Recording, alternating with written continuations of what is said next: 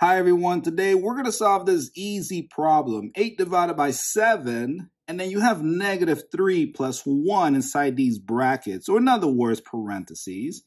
Analyzing this problem, I know I'll be doing division, multiplication, addition, and so I think of PEMDAS working from left to right. And to start solving this problem, I will start with parentheses because it's the highest level of PEMDAS and negative 3 plus 1 is negative 2, and I'll keep the parentheses, and then I'll bring down the 7, the division symbol down, and then the 8 down. And now we have 8 divided by 7 times negative 2.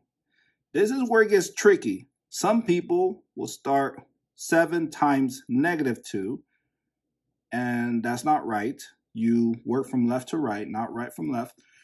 And some people will get stuck with the 8 divided by 7, and we don't need calculators. All we have to do is to turn 8 divided by 7 into a fraction. So it'll be written like this, 8 over 7.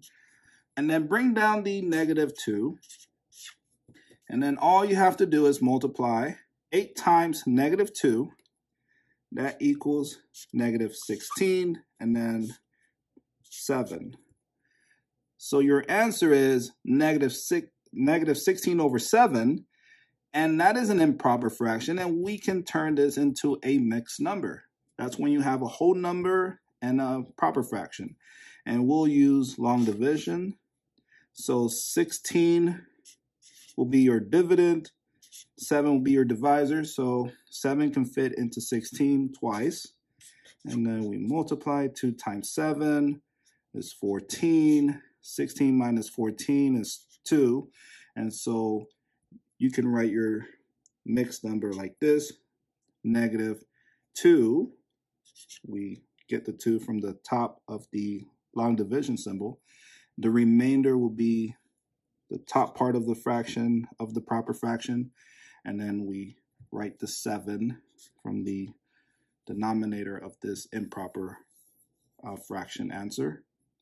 And so your answer can be negative 2, 2 over 7, or negative 16 over 7. And there you go. Thank you for watching, and I'll see you in the next video.